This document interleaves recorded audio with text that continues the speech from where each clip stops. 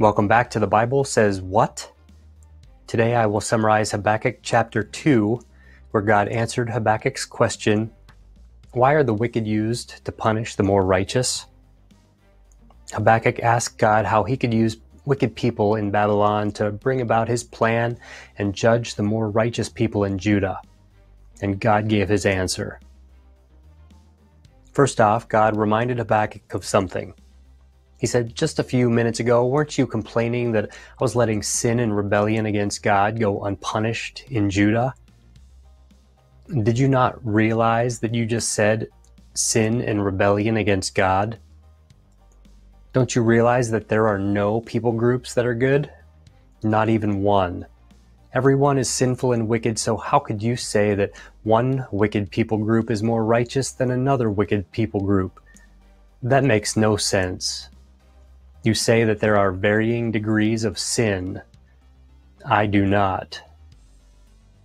God then told Habakkuk that the Chaldeans, sometimes referred to as the Babylonians, were going to come and destroy Judah.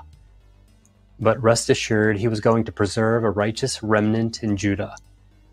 These people would be protected by God because they put their trust in him and depended on him.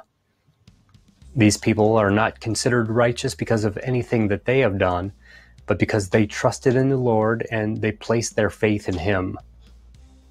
But there were bigger things at stake than just surviving an earthly existence. God was going to protect the righteous from the day of trouble well after they left this world and went on to the next, where each individual soul would be judged for everything they have done on the real day of trouble called Judgment Day. That was the real protection they were needing. One of the most famous verses in the Bible is located in this chapter of Habakkuk. New Testament writers used it in their writings. It can be found in Galatians, Romans, and Hebrews, and it says, The just shall live by faith. Faith is now and has always been the way someone is made right with God and how they could have peace with God. The righteous people who had faith would be protected from the wicked invading army that God was bringing in to judge the land. God then told Habakkuk not to worry or concern himself with other people's judgment, but let it be known that he was going to indeed judge the Babylonian army too.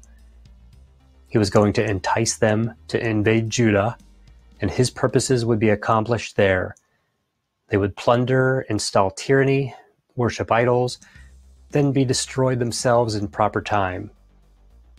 God was going to entice some other country to wipe out Babylon, and his purposes would be accomplished there. And then that country would be judged, and on down the line. God turns wickedness and sin upside down. He brings about good through things that were meant for evil. God loves to do ironic things like this all through the ages. The most important verse in this chapter is Habakkuk 2 4, which states, Behold, his soul which is lifted up is not upright in him, but the just shall live by his faith.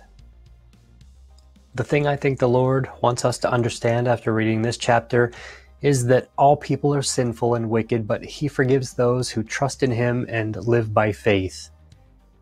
God loves irony and loves to turn sin and wickedness on its head. He loves to use the worst kind of evil to bring about the most good.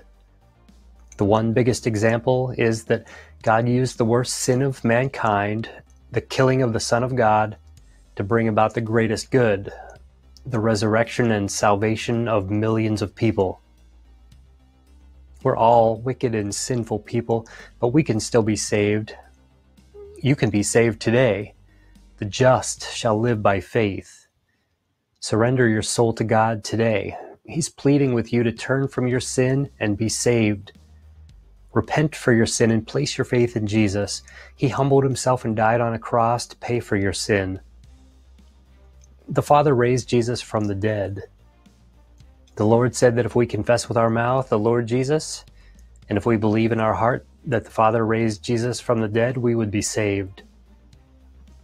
Put your trust in Him today. Thanks for watching the Habakkuk Chapter 2 episode.